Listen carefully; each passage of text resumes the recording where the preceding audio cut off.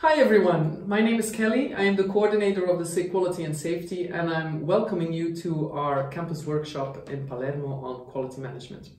It's from the 24th until the 26th of October and we are going to touch upon a lot of things that have to do with quality management.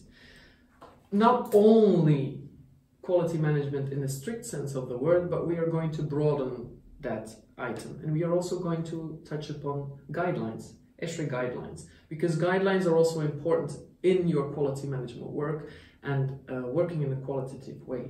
Aside from the guidelines, we are of course going to touch upon EU tissue and cell directives, root cause analysis, but we are also going to talk about people management, financial management, because you can be a very good quality manager, uh, but maybe lack a little bit of impact uh, during your professional uh, uh, activities.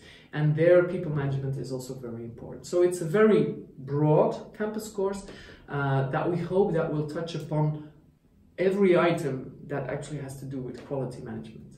So if you are a quality manager, a nurse, or an embryologist working as a quality manager, or if you are a responsible person of a tissue and cell bank, then please this is the course for you. So um, we hope to see you at our ESHRE campus workshop in Palermo on quality management. See you soon.